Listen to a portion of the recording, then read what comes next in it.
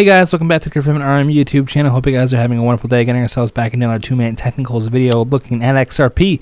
And as we can see, got a sharp, sharp decline right from that 100-day moving average uh, actually here on the 4-hour getting stuck and getting wedged underneath that 20-day so easy to set that sharp sharp decline and as you know we were kind of talking about this um, just on Tuesday, Monday, and Tuesday of getting a sharp re, uh, you know retest up to that region of 66, right there.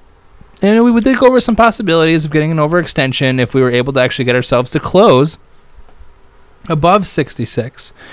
But as we can see, we lost some steam. We had indecisive candle here, and then an immediate rejection back downwards. Got down to 62. Remember, I was telling you guys, you know, I, I was looking if we fell through 63.7, we are going to be seeing around that 62 region. We got to 62.19.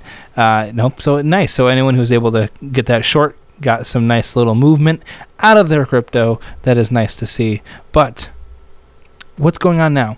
So as you can see, you know, we were going over one scenario of us doing this this double W pattern. Like it could do something more like that. But what I would expect if it were to do a W pattern would be for us this neander back downwards, do this, neander back down, do this, and neander back down here to that 60 region, and then you know, get get through this. Uh, 67 region and actually it comes around that same region over here of that 70 and flies up where our ceiling is but what we're going to use right now for some sort of um, what would you call it?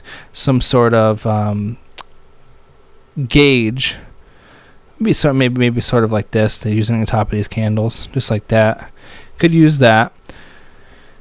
And you see, it comes to around August 14th. Yeah, something like that. So we might build a neander in this region. But if you want to go very, very short term, you could use this. Go like this. Very, very short term. This would actually be decided by tomorrow, by end of day.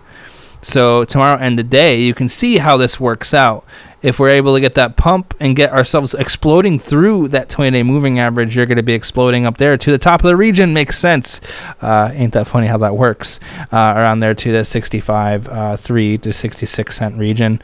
Or you're going to wind up getting a retest right back down here to this region right here, that that that 61 and a half.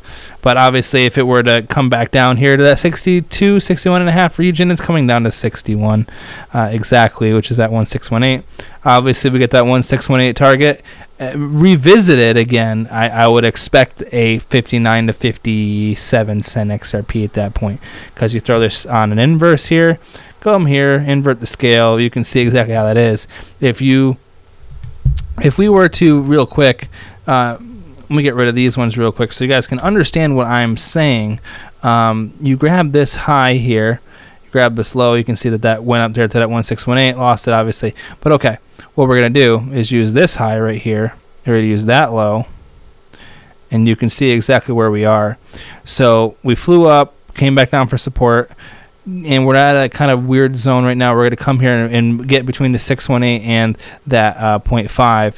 And if we're able to crack through here, get to that 786 and actually break with conviction, it's going to that 56. Obviously, not, not for you guys, obviously, but I, what I'm saying is just that in my in my eyes, it's obvious. Um, just how it's playing. Uh, obviously, uh, I'm not trying to be that guy, but it seems like we you know we're just doing relief rallies this is what we were talking about earlier in the week. We're just keep doing the relief rally fall the relief so you get that same kind of movement. You get the hold itself fall relief fall and then if you were to grab that do the same thing over here you can actually grab it. If we can grab this pattern you can see the same thing. Look at that. It's almost pretty much exactly the same. You get the relief, condense, fall, and then that would play perfectly in the 58 cents to 56 cent region, and that would be consolidate us right above our previous breakout zone of that 56 to 58 uh, seven zone. I don't know. What are your thoughts? I mean, that's that's what my thoughts are. Uh, it makes sense to, uh, here in the RSI as well, coming flying, coming from the top, going to the bottom, coming up here to the 786, getting rejected, and coming back down. It just it makes sense get some push to the downside and just continue onwards. You can see it takes a little bit of time for it to move on, but that's just the way it is. You know, that's a good song. Is, is that 90s or is it early 2000s? What song? Can someone name that song in the comments? I forget what that is. It literally might be the name of it. but I hope you guys are having a good morning, afternoon, evening, wherever you are. Remember, all this short term stuff, but, you know, we have our long term vision on what XRP is. Obviously, you guys don't need to partake in that daily stuff, but you guys know what my thoughts are on that. Have a great one. Have a good Friday, and I'll see you guys soon.